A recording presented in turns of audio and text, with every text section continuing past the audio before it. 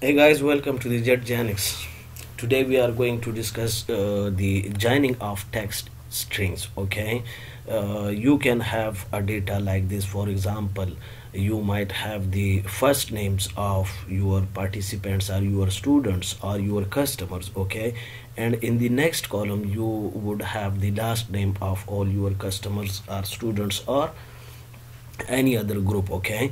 And you are interested in uh, having their full names in one column okay? So how you can do it i will explain with the two different methods okay? So uh, the first method is you can just press equal then select this one and uh, here you are supposed to um, type end symbol and then inverted comma okay? And then you again type the inverted comma and end and this one okay the last name and just press enter okay? Oh yeah. Uh, guys we have a problem here. There is no space in the first and last name uh, which means I have done a mistake here. So I'm going to correct it like this okay? Equal to I will select this one. And again um, ends symbol comma inverted comma okay? And here I have to give one space okay?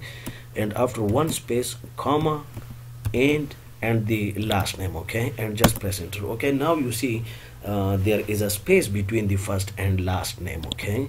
And if you double click the um, right bottom corner of this cell you would have all the first and last name of your data okay? The second way i want to tell you is that uh, and that is i think a bit easier uh, you just press equal and uh, concatenate okay? Just double click this one and now you are required to press this one and after this one comma okay?